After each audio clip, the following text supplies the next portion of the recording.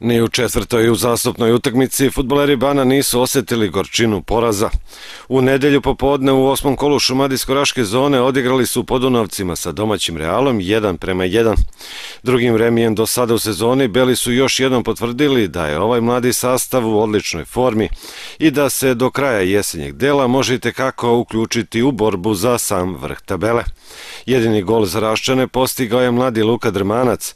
Sa ovim bodom Bane je došao do kvote od 14 osvojenih bodova. Trenutno je na petom mestu, a u sledećem kolu narednog vikenda ugostiće komšije iz Novog pazara ekipu OFAK Ras.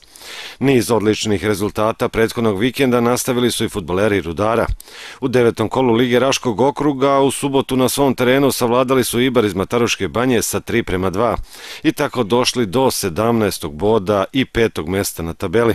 Dvostruki strelac bio je Buševac, dok je jedan gol postigao Stefanović. Rudar će u narednom kolu na noge lider u ekipi Proleter. Na drugoj strani, u okviru istog kola, futboleri Granita nisu uspeli da prekinu niz loših rezultata.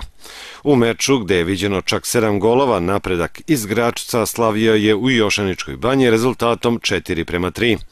Loše odigrano prvo polovreme domaćina glavni je razlog činjenice što gosti kući nose ceo plen. Napredak je u tom periodu došao do ubeljivih 4 prema 0. Iako je Granit u nastavku zaigrao mnogo bolje, ipak malobrojna publika nije videla preokret. Dva puta u listu strelaca upisao se Bogović u domaćem timu, koji je stigao do kvote od šest golova u sezoni. Jedan put u listu strelaca upisao se Marijan Nikolić. Ekipa iz Jošaničke banje sa šest bodova trenutno je na 14. mestu na tabeli. U sledećem kolu Granit će gostovati Karadžorđu iz Ribnice.